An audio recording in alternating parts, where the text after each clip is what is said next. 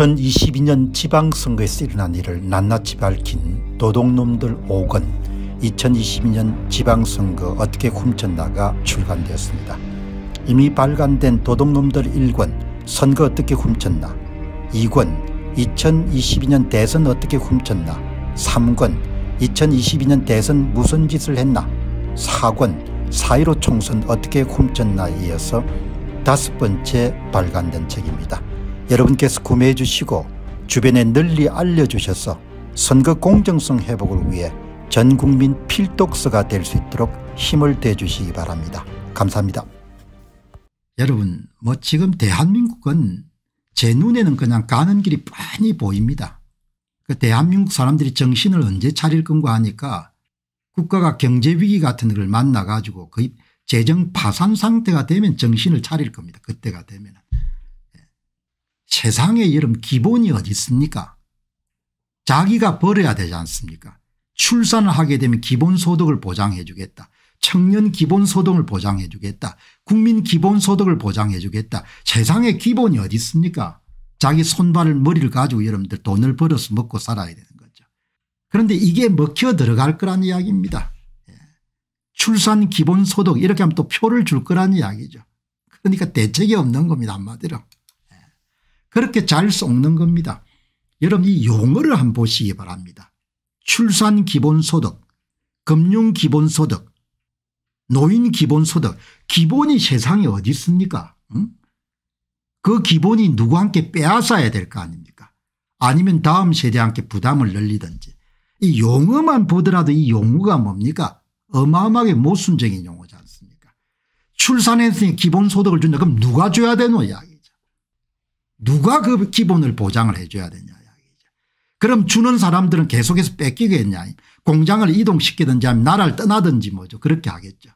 정말 사악한 생각들인 겁니다. 어떻게 이렇게 빈대부터가 살 생각만 하는데 기가 찬 거죠. 나라 자체가 완전히 좀비가 돼버린 겁니다. 예? 이걸 여러분들 오늘 조선일보를 보니까 평생 소득을 생애 소득 가운데 40%를 주세나 존조세로 바쳐야 될 청년들에게 무슨 뭐 출산 기본소득을 해주겠다. 출생 기본소득 출산이 아니네요. 그 태어났으니까 기본소득을 주겠다는 거 아닙니까 기가 차잖아요. 예? 태어났으니까 기본소득을 주겠다. 누가 주죠 누가 이런 기본소득을 마련해가 줘야 되는 겁니까 이런 정신 나간 저런 생각을 하고 이게 또 표에 도움이 될 거라고요. 거기다가 선거까지 장악했으니까 국회의 이름으로 입법의 이름으로 제도의 이름으로 정책의 이름으로 영구집권의 이름으로 그렇게 이름들 또 주겠죠. 그래서 결국은 뭡니까 파산 상태가 돼가 정신을 차릴 겁니다. 그 전에는 도저히 제가 볼 땐 제정신 못 차릴 것 같아요. 그런데 이 사람들이 이제 선거를 장악하고 있으니까 그 선거를 고칠 생각을 전혀 안 하지 않습니까 모든 신혼부부에게 1억 원의 결혼 출산 지원금을 대출해 주고 그럼 아마 이자율을 거의 0%를 줄 건데 그럼 그걸 그 부담을 누가 하냐 이야기죠. 그럼 이거를 대출해 주는 은행은 하늘에서 돈을 받냐 누구한테 돈을 끌어, 끌어와야 될 거 아닙니까 그럼 돈을 끌어오는 사람한테는 이자를 줘야 될거그 이자 차익 누가 부담할 거냐 이야기 이런 식으로 나라를 망가뜨립니다. 자녀 두명 나면 원금 50% 갚면 그럼 원금 여러분들 5천만 원 누가 갚아야 되냐?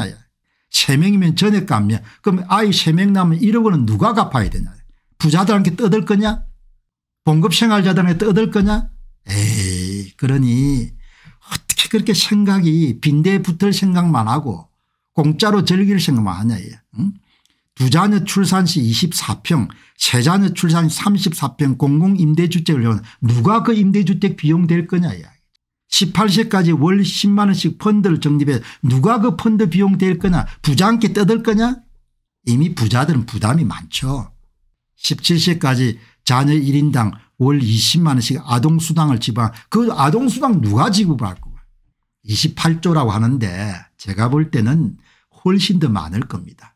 평생 자기 손으로 돈을 안 벌어봤기 때문에 고정비 성격의 지출을 늘리는 것이 얼마나 위험하고 위태로운 일인가를 본인들이 모르는 겁니다. 출생 기본소득 대학 등록금을 포함한 교육비 일체까지 지원하는 방안을 만들어야 된다. 자녀가 있는 모든 강국에 출생 기본소득을 준다. 대학 등록관 국가가 전액 지원한다. 예. 대학 등록금 이런 국가가 지원하기 위해서 등록금 인상을 다 십몇 년째 이런 다 묶어가 이런 대학이 한국 대학이 뭐죠 그냥 초토화되어 있지 않습니까 그런데 이게 먹힐 거라는 겁니다. 이게 먹히고 여기 또 솔곳해 가지고 처음에 좀더 기본소득이 예? 노인 기본소득 청년 기본소득 나중에는 뭡니까 출생 기본소득 나중에는 농민 기동소득 예? 기본을 누가 보장하냐 이야기 그래서 파산이 되면은 그때 정신을 차리겠죠 마침 어제 어제 쿠바의 구석구석까지 여러분들 취재한 유튜브 방송을 보면서 야 어떻게 나라가 저렇게까지 망가질 수 있을까 몇십 년째 여러분들 금수 조치가 취해지니까 뭐 다행스러운 것은 50년대 60년대 대단히 여러분들 고전적인 차들이 대부분이 되고만요. 그리고 여러분들 그 봉쇄 수출입이 이런 봉쇄가 되니까 좋은 것은 모든 사람들이 여러분들 손기술을 개발해 가지고 자동차를 뜯어 놓으니까 뭐 현대자동차 엔진에다가 벤저 벤저 여러분들 뭐죠 무슨 무슨 레이타에다가 모든 전 세계 여러분들 부품들이 다 들어있더구만요. 예. 여러분 문제는 이런 턱없는 생각이 상당수의 국민들을 설득시킬 것이고 이런 턱없는 생각을 가진 사람들이 선거 결과를 만들 수 있는 나라가 된 겁니다. 그래서 원하든 원치 않든 간에 이 나라가 어마어마하게 위태로운 길을 가고 있는 겁니다. 이거는 사회주의도 아니고 완전히 공산주의 생각입니다. 기본이 세상에 어디 있습니까 기본이 기본을 누가 보장합니까 당연히 이런 부자들한테 더 뜯고 정액 봉급자처럼 봉급이 완전히 노출되는 사람에게 더 뜯으려고 하겠죠. 그러나 그 사람들도 일정 인계치를 넘어서게 되면 그때는 뭐죠 예.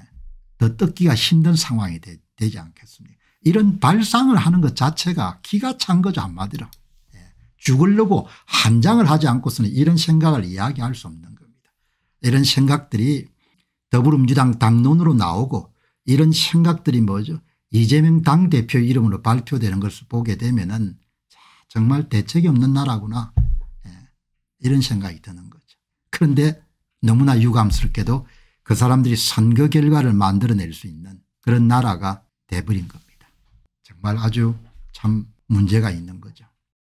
2020년도 4.15 총선에서 일어난 일을 낱낱이 밝힌 도둑놈들 사권 2024.15 총선 어떻게 훔쳤나가 출간되었습니다. 이미 발간된 도둑놈들 1권 선거 어떻게 훔쳤나 도둑놈들 2권 2022년 대선 어떻게 훔쳤나 도둑놈들 3권 2022년 대선 무슨 짓을 했나에 이어서 네 번째 발간된 책입니다.